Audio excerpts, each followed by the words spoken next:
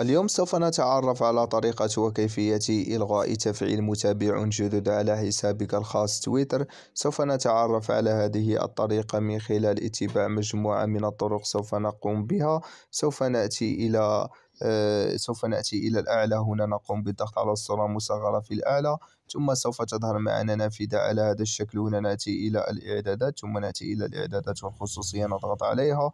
بعد ذلك نأتي إلى نافذة الإعدادات. نقوم بالضغط على التنبيهات.